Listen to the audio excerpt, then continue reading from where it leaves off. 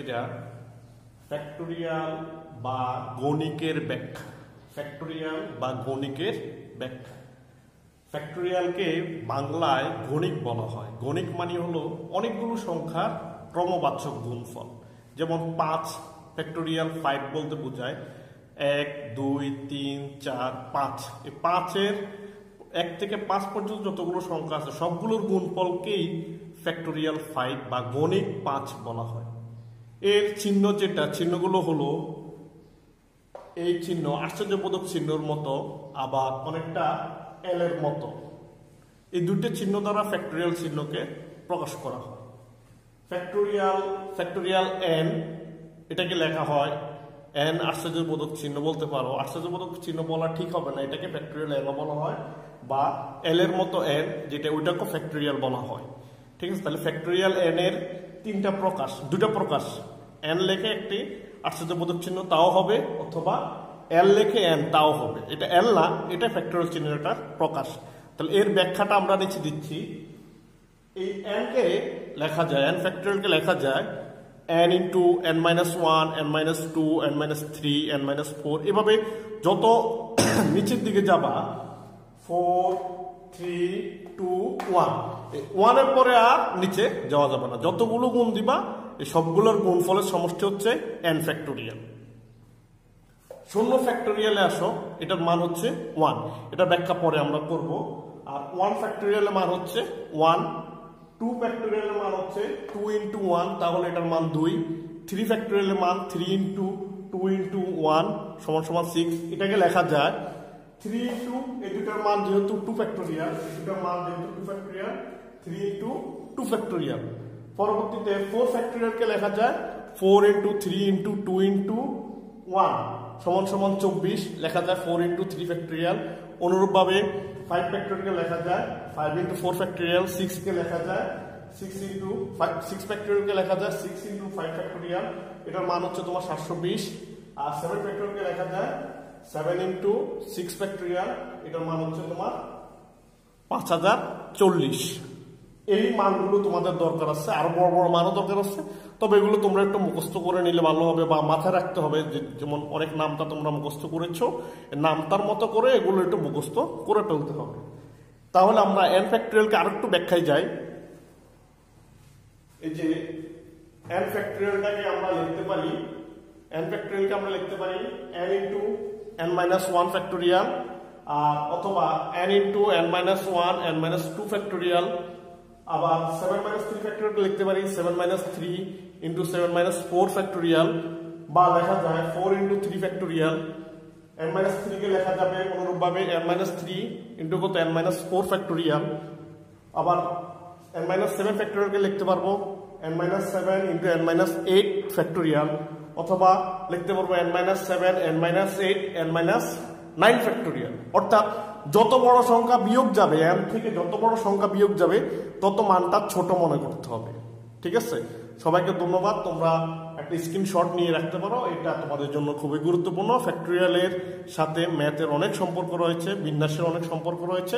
তোমরা একটু ভালো মতো এবার আমাদের প্রশ্ন হলো, প্রমাণ করো যে প্রথম এন সংখ্যক বিজোড় সংখ্যা গুণফল two n factorial by n fact 2n 2 power n fact 2 power n into n factorial. আমরা জানি 2n factorial এর মান হলো 2n 2n থেকে 1 বিয়োগ 2n থেকে 2 বিয়োগ 2n থেকে 3 বিয়োগ, এভাবে বিয়োগ যেতে যেতে যেতে 5 4 3 2 1 মানে এই সবগুলোর গুণফলকে বলা হয় 2n ফ্যাক্টোরিয়াল তাহলে আমরা এটা লিখি যে এদিকে যা আছে এইদিকের মানগুলোকে আমরা এদিকে নিয়ে আসলাম আর টু কে আমরা এদিকে নিয়ে গেলাম। তাহলে আবার জোর যেগুলো আছে, টু, ফোর, সিক্স, এরপর যেতে two power n two into two n এই জোরগুলোকে আমরা লিখতে পারি, দেখো টু কে লেখা যায়, টু ইন্টু ওয়ান ফোর কে লেখা যায়, টু ইন্টু টু সিক্স কে লেখা যায় টু ইন্টু থ্রি আবার এটাকে লেখা যায় টু কমন নিয়ে এন মাইনাস ওয়ান টু কে লেখা যায় টু ইন্টু এন তাহলে আলটিমেটলি টু টু টু মানে এরকম যতগুলো দুই আছে, একটা দুই একটা দুই একটা দুই। এন পর্যন্ত যতগুলো দুই আছে, সবগুলোকে আমরা গুণ দিলে হবে টু পাওয়ার এন তাহলে এখানে থাকবে ওয়ান টু থ্রি এভাবে প্রত্যেকটা মান থাকবে। আর এখানে থাকবে মনে করো এন মাইনাস ওয়ান আর এখানে থাকবে এন এখানে থাকবে এন মাইনাস ওয়ান এখানে এন তাহলে আলটিমেটলি কি দাঁড়াল দেখো এই জোর সংখ্যাগুলোর গুণফল হলো টু পাওয়ার এন আর এন পর্যন্ত গুণফল এক দুই তিন এরকম এন পর্যন্ত গুণফল হলো এন ফ্যাক্টোরিয়াল তাহলে এবার আমরা এক এবং দুই অর্থাৎ এককে দুই দ্বারা ভাগ করলে হয় এই এককে দুই দ্বারা ভাগ দিলাম। তাহলে এখানে দেখো জোর যেগুলো আছে এই দুই দুই কাটাকাটি যায়, ঠিক আছে? আবার তোমার টু টু কাটাকাটি যাবে ফোর ফোর কাটাকাটি যাবে সিক্স সিক্স কাটাকাটি যাবে, এখন টুয়েলভ টুয়েলভ কাটাকাটি যাবে twelve minus two twelve minus two কাটাকাটি যাবে, আর এদিকে যা আছে তা থাকবে। তাহলে এখানে যা আছে সব বিজোড়। এক, তিন, পাঁচ। অর্থাৎ প্রথম সংখ্যক বিজোড় সংখ্যার গুণফল এটা। তাহলে দেখানো হলো। আরেকটা জিনিস একটু যদি না বুঝো, তাহলে দেখো। ফোর সিক্স এটাকে লেখা যায় two into one two into two two into three তাহলে একটা, দুইটা, তিনটা। এই তিনটা যদি দুইকে আমরা কমন গুণ দিই, তাহলে টু কিউব এখানে থেকে ওয়ান টু থ্রি তাহলে এটাকে লেখা যায় টু পাওয়ার থ্রি আর থ্রি ফ্যাক্টোরিয়াল অনুরূপভাবে অনুরূপভাবে যদি n পর্যন্ত গুণ হয়, তাহলে টু পাওয়ার n ইন্টু কত n ফ্যাক্টোরিয়াল সবাইকে ধন্যবাদ। আশা করি তোমরা এই আলোচনাটি বুঝেছ। বিন্যাসের সহজ একটি ধাপ দেখো।